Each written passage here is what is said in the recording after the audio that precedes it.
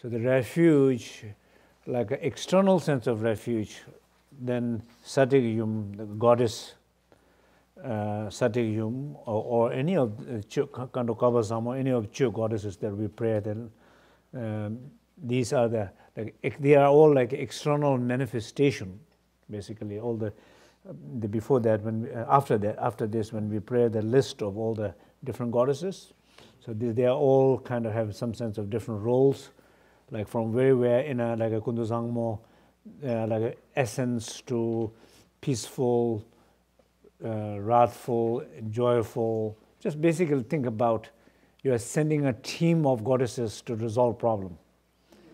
And why there's a team of people? Because each of them have a unique character. If you think about negotiating something like that, one is strong, one is peaceful, one is skillful, one is expansive, like different character. One is like wrathful. So then, of course, Sipe Gyalmo is the, the, the last resources. if there's nothing works, then she has to come.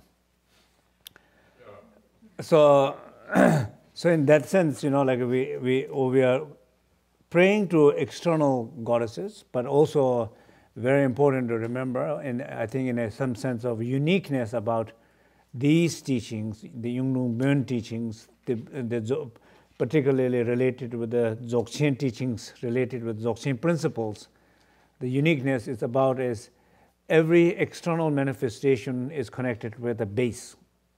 Because they always talk about the base. They don't only refer to outer manifestation, praying to outer manifestation.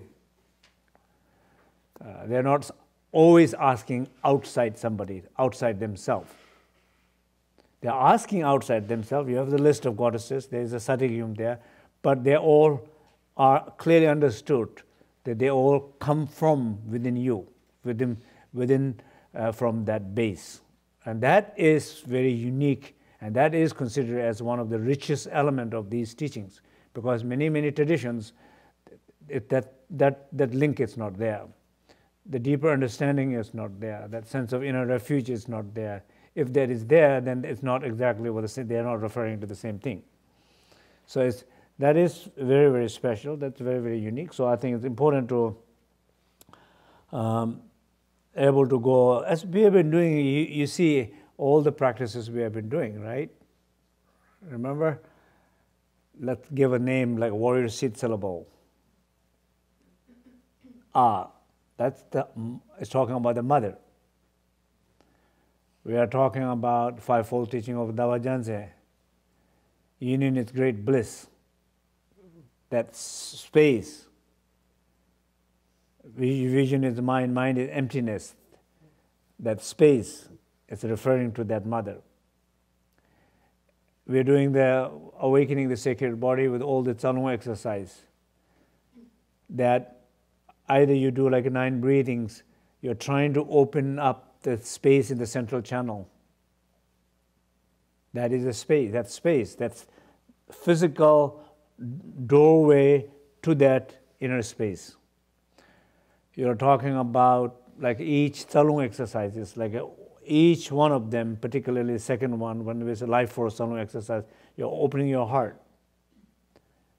The heart, opening your heart, the heart is the doorway to that space. That is referring to that same space. So no matter which where you come from, you, it's important to you realize that we're always referring to the same thing. I think we should get this. We should get this point right. How many years has been listening, praying, reflecting? Okay, finally, I think I'm getting something. right. So in a way, well, the beauty of that is that then you realize, wow, everything seems simple because they're all connected. They're always referring to the same thing. The problem will be if each time we are referring to something else, that will be big mess. And and a lot of time, and you, in the end, you really don't know what you're talking about. That is not the case. That's, we're lucky in that way. That's not the case. So I, you know, even though sometimes different tradition, the way what way it's presented, way it's taught, it somehow it seems like it's so difficult to understand. You can never understand this life. Forget about it. three lifetime purify, three many countless lifetime accumulate, then come back. Then we will discuss about if you are right vessel for these teachings or not. Kind of discouraging.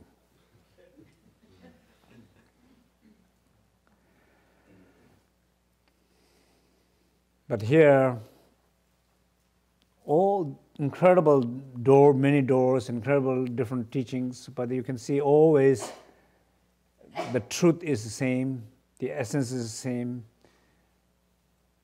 It's always within us. But the reason why we do once each specific practices, it's different. And clearly, this spiritual practice has so much to do work with our fear.